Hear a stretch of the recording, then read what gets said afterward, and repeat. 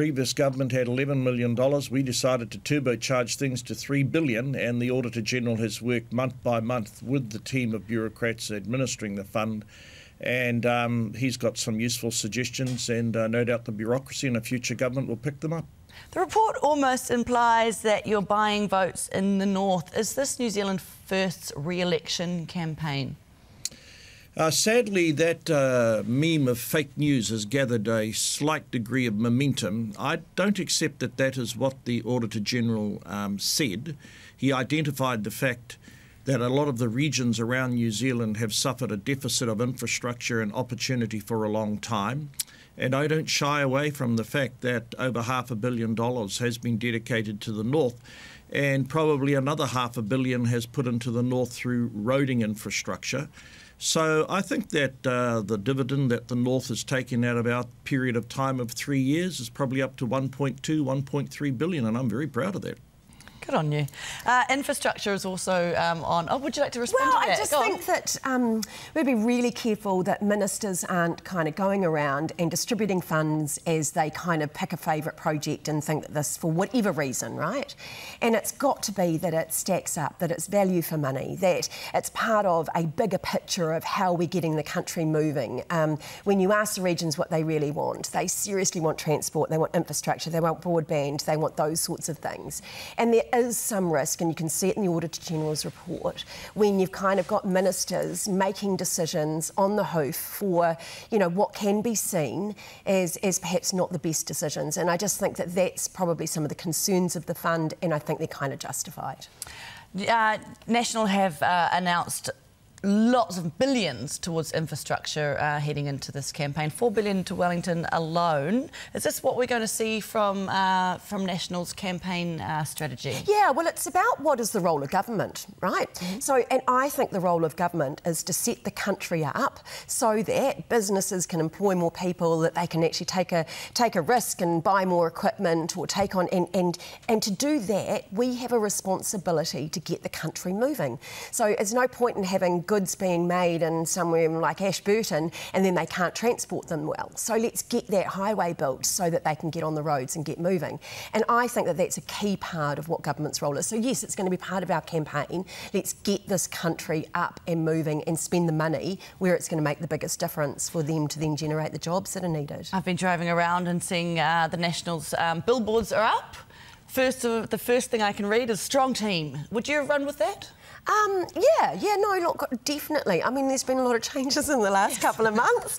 Uh, you and I were talking before, and I went, well, I didn't imagine that I'd be, you know, here three months ago, um, retiring. But I've got to say, it feels great, and, and everything happens kind of for its reason. But I would still put our team up any day, and I just think when you do look at Judith and Gerry standing there, I tell you what, they look strong. There's a lot of things uh, with Judith, but my goodness, she, that woman is um, she is strong and she is determined, and you know, and she leads a, a, very capable team. She does. What are we going to expect from New Zealand First campaign? We've heard some uh, some policy announcements around immigration and policing, but that's all sort of uh, we can expect that from New Zealand First. Is there anything new coming? Oh, no, there'll be a strong focus in terms of our, our credentials in the regions. I mean, if you do go and I partially agree with uh, Paula, infrastructure is the way to go in the future, but it's got to be infrastructure also that gives people the confidence to spend their own money and train their own people. So you'll see a lot of focus, us rolling out our commitment to aquaculture as a new industry, us continuing to um, fund water storage and roads and rails in provincial New Zealand. In fact, there's so many cones on the roads up north, they're now calling me Jones for cones. I love the way he gives himself nicknames. I like that one, though. I like that one. and hopefully, jobs, jobs, jobs. Um, the unemployment stats were out, and uh, unemployment dropped 0.2% to 4%. Is this a sign of a robust economy, like Robertson is saying, or is it uh, is it hiding a few flaws? Is it a little bit skewed? Do you think, mm. Shane? Uh, I think that the economist from the Kiwi Bank nailed it there's a, uh, a deeper level of underemployment. And I think there has been disruptiveness that people through COVID weren't able to um, search for work in perhaps the way they traditionally did. But look, the Stats Department, as the Minister of Finance knows, is very independent. and they guard that independence very jealously, and um, they tend to take a dim view if we try and ever influence that. But once the wage subsidy comes off, I think a lot of economic commentators know that we'll likely see some more dislocation, which is why it's really important that uh, we continue to invest in um, enabling people to either either to move to another job or sustain firms and give them the confidence to continue to employ people. One of the shocking numbers that came out of, of, of the of this release was that of the 11,000 people who lost their jobs, 10,000 were women. Yeah. What does this imply? Uh, I think well, we saw retail shut down, uh, and you know, and there are more women in retail and in those types of jobs, and I think still it's seen as kind of second employment in too many households, mm-hmm. and it's seen as being dispensable, uh, which we just have to move past and move beyond. And so, uh, yeah, like, like we, as you say, we saw um, more women becoming unemployed. You remember the definition of what stats are asking? Mm-hmm. Are you actively looking for work? And during lockdown lockdown, people weren't. Mm-hmm. Yeah, they, they, they, just couldn't.